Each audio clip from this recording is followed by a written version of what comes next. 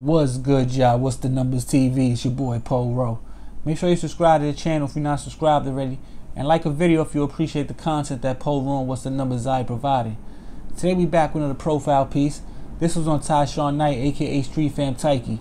What we're gonna do in this video, we're gonna take a look at his relationship with the rapper Fabolous, and also take a look into some situations that he caught later on in life, as far as like murder charges and things like that. We're gonna try to get to the bottom of his case to see what the outcome was and see where everything concerning him stands today. So to make this story on Tyke, I basically gotta, you know, let you guys know who he was, give you some background information on him. He's one of the younger members at the time of Street Family, which is the rappers Fabolous crew out of Breevort Projects in Brooklyn. Before they were Street Family, it was BGS. You know, basically a crew coming up, getting into a lot of different things. But eventually they get into the hip hop world through Platinum selling artists Fabolous, you know, in the early 2000s all the way up until now.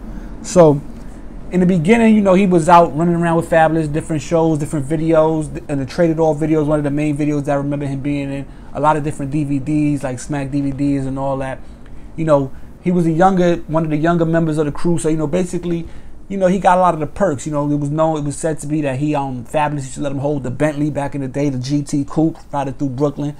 You know what I'm saying? Let him hold the chains and all that. You know, he was the young boy out the crew, so it's nothing to, you know, a lot of times the younger crew and the, the younger the younger guy in the crew he gets a lot of the perks because you know it's, it's, less of an ego thing for him. So he don't mind asking the older members for something. You know let me hold this let me get this. You know guys are the same age usually they got that ego. They got a little they don't really want to feel like they're you know asking somebody that they look at that as equal to them as far as age for stuff. So you know they don't really get a lot of the perks but the younger members of the crew usually get a lot of the perks. And that still goes on to today. You know everybody loves the young boy. It's my young boy i'm looking out for him oh that's my old head you know how it go so Tyke was that. He was the young one of the young boys in Street Fam. You know, before Kev and all them had spots with Fab, Tyke was the one that was around him. Now, eventually, something happened throughout the years. It was rumored that they had some sort, some some sort of um, some type of riff or some type of split between where you don't see Tyke with Fabolous no more. Now he's still part of Street Fam, you know, because he still got friends that all grew up together. They all basically before, like I said, before Fabolous was a rapper, they was all friends from the project. So he still had relationships with other members of the Street Fam, but not particularly with Fabolous so much. Now Fabolous on Loso's way, he drops a song named Pachanga. So Pachanga was supposedly had a verse that was a few bars that was supposedly aimed at Tyke. Now we don't know this for sure. Fabolous never came out and said this, but that was the word that certain bars were for him.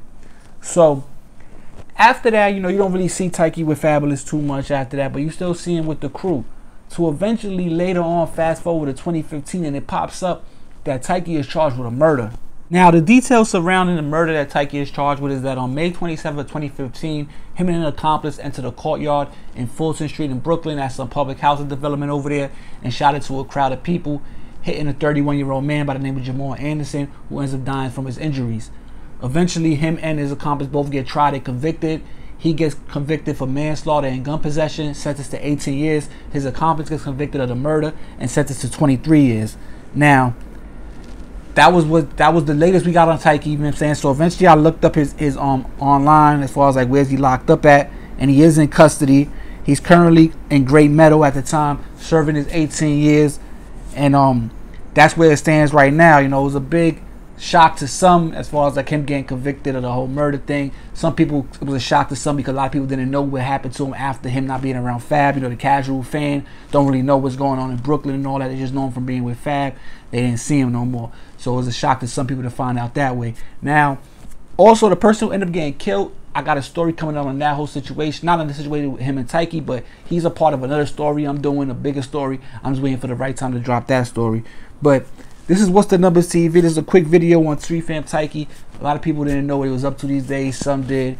And um, this is the situation concerning him right now. So if you're messing with the channel, like I said, subscribe, like, share, comment, all that good stuff. We're about to hit 20K subscribers. If you've been rocking with me for a minute, I appreciate y'all. If y'all just got on board, stick around. We're going to keep going up from here. It's Poe Rose, What's the Numbers TV. And I'll be back before you know it. I'm out of here. Peace.